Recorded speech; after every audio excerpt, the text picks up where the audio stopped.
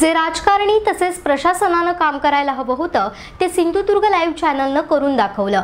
जिल्ह्यात आयकॅम्प राबवून समाजहिताचं मोठं काम केलंय असं मत शिवसेना नेते अतुल रावराणे यांनी व्यक्त केलंय.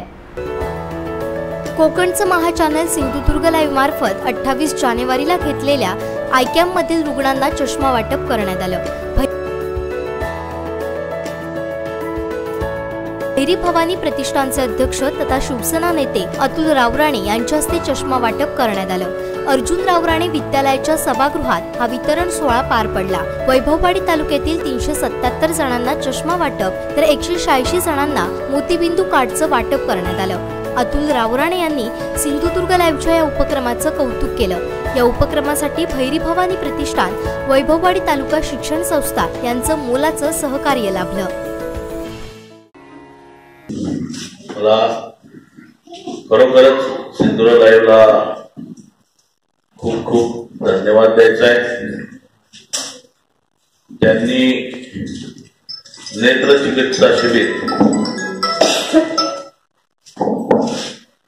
हे प्रत्येक तालुक्यात अतिशय प्रभावी प्रभावीपणे राबवलं.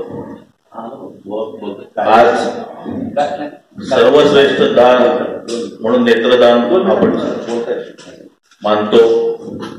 कारण परमेश्वराने निर्माण केलेल्या सृष्टीला पाहण्यासाठी अनुभवण्यासाठी आपल्याला दृष्टीची गरज असते. आणि दृष्टीदाता हाच मोठा असतो. आज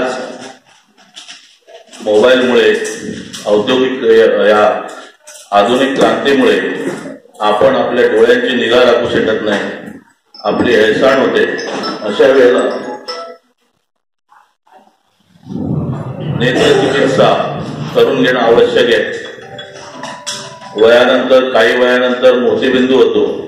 मोतीबिंदूचं ऑपरेशन कॅटॅक्टचं हे आता सर्वसामान्य झालेलं आहे.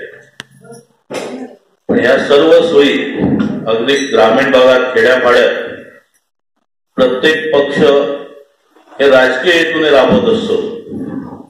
परंतु एखादं न्यूज चॅनल सामाजिक प्रेरणेने ज्या वेळेला ते राबवतं त्यावेळेला त्यांची सामाजिक बांधिलकी ही संपूर्ण जगासमोर येते. आज वृत्तपत्र वृत्तवाहिन्या या आपल्या लोकशाहीचा चौथा स्तंभ म्हणून यांना ओळखलं जातं. आणि त्या स्तंभाचे रक्षक असं असलेले सिंधुदुर्ग लाईव्ह चॅनल आणि त्यांचे सर्व सभासद सर्वच सहकारी आणि या चॅनलमध्ये काम करत असलेला प्रत्येक जण या अतिशय चांगल्या अशा या सामाजिक उपक्रमात सहभागी झाले आणि त्यांचं फार मोठं योगदान या जिल्ह्याला लाभलेलं आहे. मी त्या सर्वांचंच अभिनंदन करतो आणि आपल्या सर्वांना चांगलं आयु आयुरारोग्य द्यावं म्हणून मी परमेश्वराकडे प्रार्थना करतो. कोकणातल्या ताज्या घडामोडी सर्वप्रथम पाहण्यासाठी सबस्क्राईब करा.